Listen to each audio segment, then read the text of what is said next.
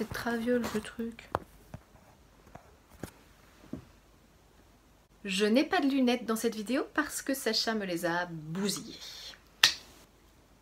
Bonjour à tous et bienvenue sur La Papote Livresque.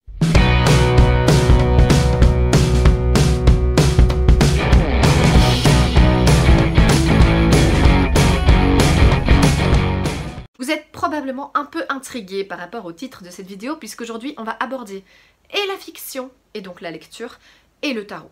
Mais comment est-ce que la fiction et le tarot peuvent fonctionner ensemble? C'est ce que je vais vous expliquer.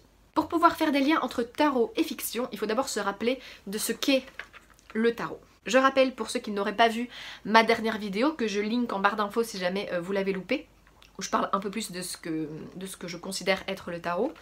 Euh, mais le tarot, en gros, c'est 78 cartes, 22 arcades majeures, 56 arcades mineures, qui représentent des archétypes, des personnages avec des traits de personnalité bien précis et des situations de la vie quotidienne. D'un autre côté, la lecture, avec tous ces bouquins qui se présentent derrière moi, sont constitués d'archétypes, de personnages avec des traits de personnalité bien distincts et de situations auxquelles il faut faire face. Vous voyez le lien? Très clairement, en fait, quand moi j'ai commencé à étudier le tarot, j'ai eu un comportement euh, très automatique dès le départ, c'est-à-dire qu'à chaque fois que... Oups, mon livre glisse. À chaque fois que je retournais dans ma lecture en cours, j'avais cette tendance à associer chaque personnage à une carte du tarot, chaque situation à une carte de tarot, et à vraiment me dire, tiens, tel personnage il réagit plutôt comme un roi d'épée, ou alors euh, arrête de faire euh, ta reine de coupe, ou enfin vraiment j'étais dans, cette optique de d'attribuer chaque euh, chose importante de l'histoire que je lisais à une carte de tarot que j'avais étudiée. Et la raison pour laquelle ça fonctionne, c'est parce que avec ce jeu de 78 cartes de tarot, donc ici c'est le Deviant Moon Tarot, mais tous les jeux de tarot euh, font l'affaire, vous pouvez raconter n'importe, n'importe, n'importe quelle histoire. Qu'elle soit fictionnelle, réelle, historique, qu'elle vous appartienne, peu importe l'histoire que l'on raconte, on peut la résumer à l'aide des cartes de tarot. Et ça, pour la lectrice que je suis et la fan d'écriture que je suis, c'était juste merveilleux d'en faire la découverte. Très concrètement, vous pouvez associer chacun euh, des arcanes majeurs ou mineurs du tarot à une histoire qui vous est arrivée. Ça peut passer du désir d'enfant jusqu'à l'accouchement, ça peut être euh, le désir de lancer, euh, de, votre idée initiale, de lancer votre entreprise jusqu'à ce que vous l'ayez créée et là où vous en êtes aujourd'hui. Ça peut être l'histoire de votre rencontre avec votre partenaire actuel. Ça peut être tout. Ça peut être l'histoire de Roméo et, Juliette. Ça peut être l'histoire... je sais pas moi, de la bataille de Waterloo, ça peut être n'importe quoi tout, tout est possible d'être raconté à travers les lames du tarot. Et vous allez me dire, c'est bien la papote, euh, tu as vu un lien, c'est fantastique. Mais ça sert à quoi concrètement? Eh bien en fait, l'outil tarot et l'outil fiction vont se renforcer mutuellement. C'est-à-dire que en associant des glames de tarot à des personnages par exemple d'une fiction, vous allez approfondir votre connaissance et votre compréhension de ces personnages et de toutes les situations que vont rencontrer ces personnages. Et vice versa, le fait d'associer euh, un personnage avec une lame de tarot vous permet d'approfondir la connaissance des lames de tarot et de créer un lien différent avec elles. C'est beaucoup plus facile de se souvenir de la signification d'une carte quand vous l'avez attribuée à quelque chose qui vous touche personnellement, que ce soit une histoire que vous adorez, une histoire que vous avez vécue ou une personne que vous connaissez. Très clairement, moi, enfin, j'arrive à associer une carte de tarot à tous les membres de mon, entourage, à ma famille, à, mes amis. Et ça m'aide beaucoup, en fait, à me souvenir de la signification de ces cartes et euh, d'avoir un lien plus fort avec elles, en fait. Donc dans cette vidéo, j'ai décidé de vous montrer en fait comment faire concrètement pour associer des lames de tarot avec euh, la fiction. Euh, et alors quand je parle de fiction, euh, petite parenthèse, ça peut être toute la fiction du monde. C'est-à-dire que moi je parle de lecture parce que ben c'est un peu le sujet de, cette chaîne et c'est un peu ma passion. Mais clairement, vous pouvez faire ça avec des séries, vous pouvez faire ça avec... je sais pas, moi je me suis amusée l'autre fois, je regardais Top Chef, j'ai clairement vu que Philippe Etchebest, malgré son image de roi d'épée, est en fait un vrai roi de bâton. Bon, il n'y a que ceux qui connaissent le tarot qui comprendront ce que je raconte, mais euh, à chaque fois, en fait, que vous euh, regardez quelque chose, écoutez, euh, je sais pas, écoutez un livre audio, faites une lecture, allez voir une pièce de théâtre, regardez un film, une série, bref, tout ce qui est raconté, tout ce qui est possible d'être raconté, vous pouvez le faire en fait. Je ferme la parenthèse. Je vais vous illustrer en fait ma façon de faire à travers une fiction que tout le monde connaît a priori, en tout cas que beaucoup de monde connaît, et euh, qui moi est un peu mon grand challenge de l'année 2019 puisque j'essaye en fait d'attribuer de résumer chaque chapitre de cette œuvre avec les cartes de tarot pour, bah, justement faire ce travail d'approfondissement et de l'œuvre de fiction et du tarot. Et donc, ben, vous l'aurez compris, aujourd'hui, je vais résumer le premier chapitre de Harry Potter à l'école des sorciers à l'aide du Deviant Moon Tarot. Donc ça c'est mon texte euh, sacré, c'est-à-dire que c'est ma version de 1998, toute jeunie, toute dégueulasse, avec mon petit prénom écrit au crayon là au-dessus, euh, voilà, de, quand j'avais 10 ans, hein, euh, voilà, qui est plié parce qu'il s'était retourné dans mon sac, enfin je m'en rappelle. Et donc ça c'est mon texte à moi, mais clairement quand moi j'étudie, en fait quand j'associe un archétype du tarot ou une carte du tarot à un personnage, je le fais dans cette édition-ci que j'ai racheté, que j'ai postité, bon c'est pas un mot, à postité. Enfin soit, vous avez compris. Mais donc clairement, c'est vraiment un texte que j'analyse. Et donc, vous voyez, c'est euh, un peu le bordel.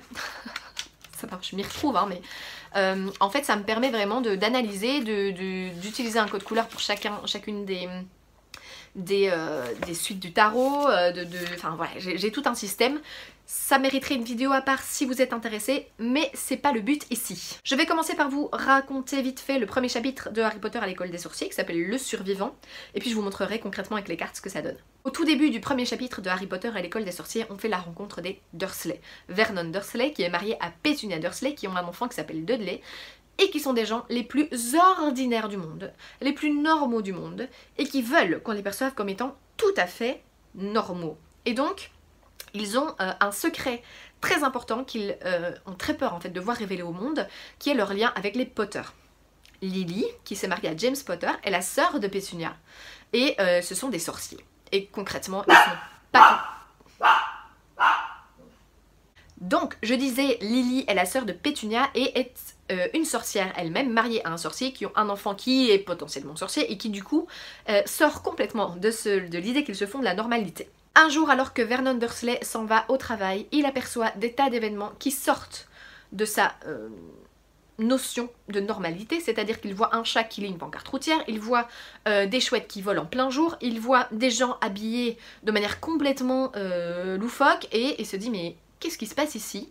Et puis il y a quelqu'un qui prononce le nom de Harry Potter et là il panique un peu parce que clairement il veut pas qu'on l'associe à Harry Potter et se dit qu'il y a quelque chose qui va pas. Ça c'est la première partie du chapitre et ensuite on suit euh, cette même nuit Albus Dumbledore qui arrive dans Private Drive accompagné de euh, Minerva McGonagall et qui attend l'arrivée, ils attendent tous les deux l'arrivée de Hagrid qui va venir déposer Harry suite à un événement tragique puisque Lord Voldemort, le grand mage noir, a assassiné les parents de Harry et en voulant s'attaquer au bambin lui-même n'a pas réussi à le tuer et euh, c'est euh, juste tout simplement évaporé dans la nature. Donc Harry euh, se retrouve seul évidemment sans famille proche autre que les Dursley. Et donc Albus Dumbledore va confier Harry à sa tante et à son oncle pour qu'il puisse en fait commencer vraiment sa vie, sa nouvelle vie sans ses parents. Bon ça c'est grosso modo le résumé, on va approfondir tout ça. Maintenant je vais utiliser les cartes du Deviant Tarot, donc qui sont ici, hein, pour vous montrer un petit peu euh, du coup comment euh, on pourrait illustrer ce chapitre. Alors, vous vous souvenez qu'on commence par faire la euh, rencontre des Dursley, donc de Vernon Dursley et Petunia Dursley. Et donc, moi, je leur ai attribué le roi d'épée et la reine d'épée. Alors pourquoi? Parce que tout simplement, euh, une des caractéristiques de ces personnages de la cour, c'est d'être euh, très rationnels, très rigides dans leur schéma de pensée, euh, très pas du tout enclin à tout ce qui est intuitif et imaginaire, vous voyez? Donc clairement pour moi c'est ça ressemble très fort en fait à, l'image qu'on peut avoir des Dursley. Et euh, d'autant plus euh, pour Pétunia, euh, la reine d'épée tout simplement parce que c'est une reine, vous voyez, on le voit très bien hein, sur, ce dessin dans, dans, le Deviant Moon Tarot, mais c'est une reine qui peut être très tranchante, très piquante, limite très critique en fait. Et bon, Pétunia, elle aime, elle aime les ragots, elle aime vraiment elle est vraiment dans la critique, hein, tout ce qui n'est pas ordinaire, il faut pas traîner avec des gens communs, vous voyez, enfin c'est clairement des gens qui pour moi sont dans la critique et qui correspondent bien à cette facette du roi d'épée et de la reine d'épée, et je précise que ce n'est pas la seule facette du roi d'épée et de la reine d'épée, mais que euh, ça en fait partie.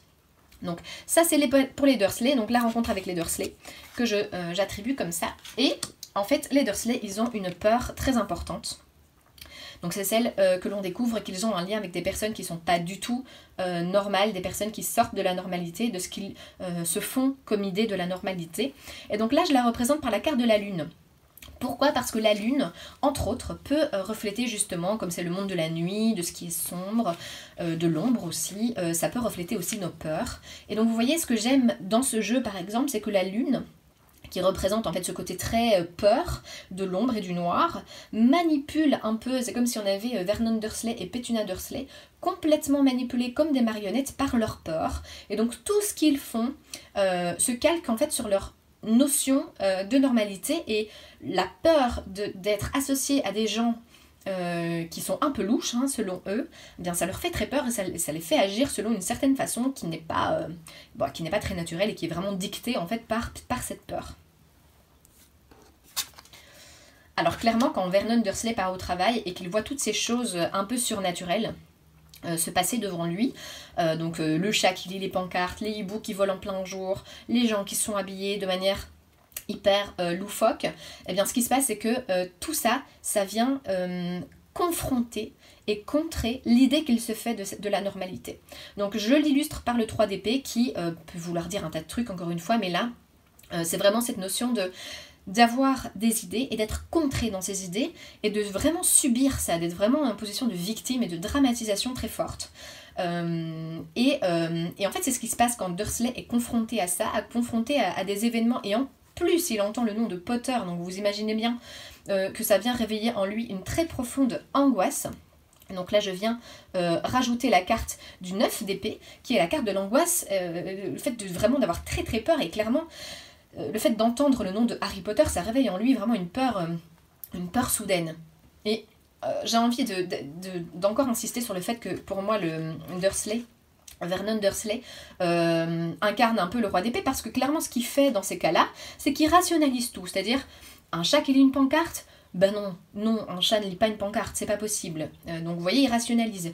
Ou euh, des gens qui sont habillés de manière loufoque, eh ben non, ça c'est pas possible. Ce sont certainement des gens qui font une animation de rue et qui récoltent de l'argent pour une association quelconque. Donc vous voyez, il est toujours dans cette, rationalisation, dans, cette volonté de toujours rationaliser et rigidifier un petit peu euh, la pensée. Donc clairement, tous ces événements viennent contrer un peu les idées de Vernon Dursley et viennent surtout provoquer chez lui une grande angoisse puisque vous vous souvenez qu'il n'a vraiment euh, pas du tout envie euh, d'être confronté à tout ce qui sort de la normalité. Donc ça c'était pour la première partie du chapitre et puis ben, cette nuit-là, quand Vernon et Pétunia euh, s'apprêtent à dormir, Albus Dumbledore arrive dans la rue accompagné de, du Minerva McGonagall qui elle a passé toute la journée à observer les Dursley.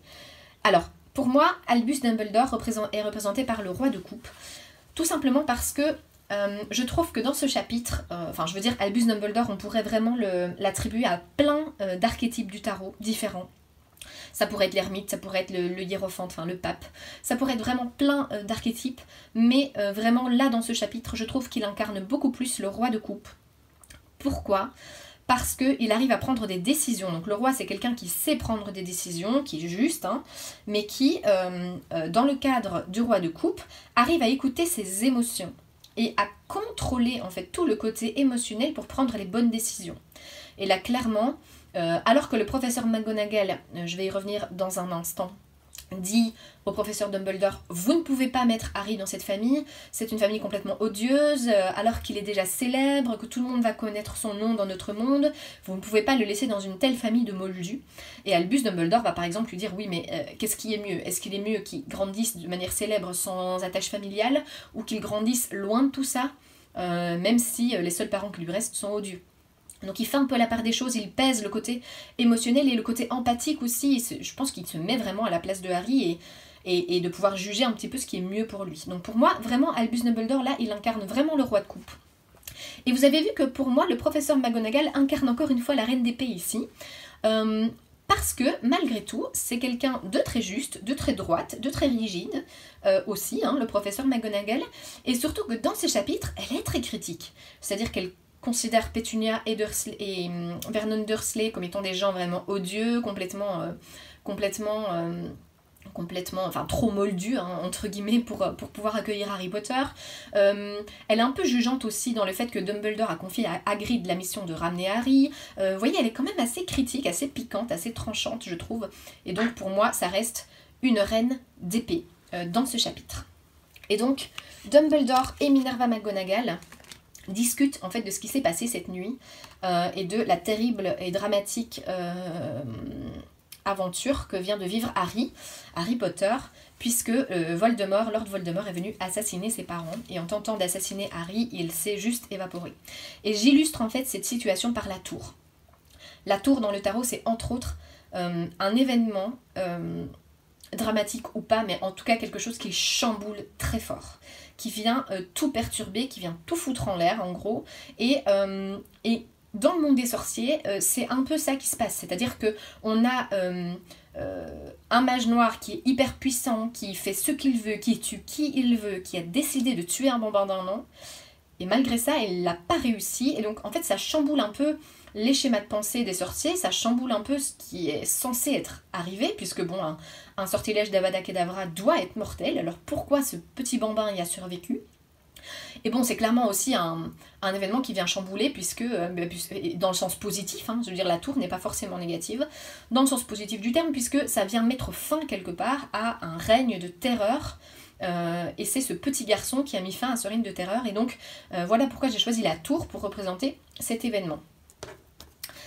Puis euh, l'arrivée de Hagrid, hein, Hagrid qui vient euh, déposer Harry euh, avec la moto de Sirius Black. Alors Hagrid, je lui ai attribué le valet de coupe. Alors le valet de coupe qu'on attribue souvent une énergie beaucoup plus féminine que masculine, mais moi c'est comme ça que je perçois Hagrid. C'est-à-dire qu'Hagrid, je le trouve très maternel en un sens. surtout dans ce chapitre où il apporte Harry, euh, enrobé de couverture, il a fait attention à le couvrir, il pleure quand il le dépose dans les bras de Dumbledore, il trouve ça très triste, il ne contrôle pas ses émotions puisque ça laisse complètement submergé par la tristesse en fait qu'il habite.